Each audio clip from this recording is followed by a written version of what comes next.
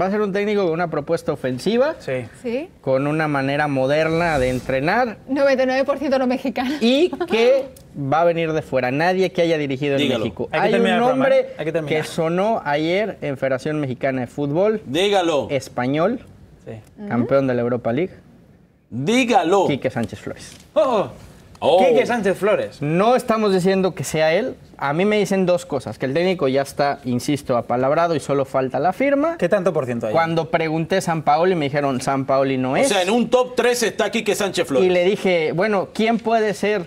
Y me dijo, pues no sé si sea, pero el nombre de Quique Sánchez Flores ha sonado mucho desde ayer en esta misma oficina. Es buen buen técnico. técnico, Muy, muy bueno. buen técnico. Vamos a ver. Muy serio. para ser seleccionador. Ahora, Sí. cumple todos los requisitos que está buscando Federación Mexicana de Fútbol.